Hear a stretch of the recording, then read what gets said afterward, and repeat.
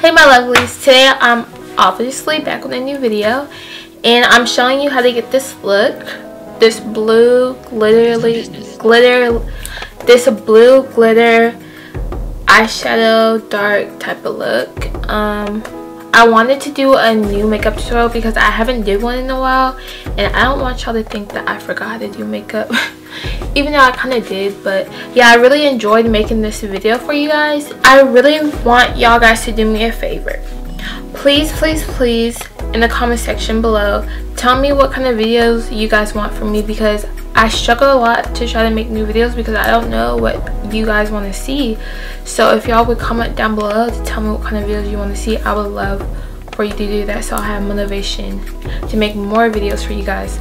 Um so yeah um, I'm really excited to be, you know, shooting this video and making this new makeup look for you. So please stay tuned and enjoy. Bye. I see you later.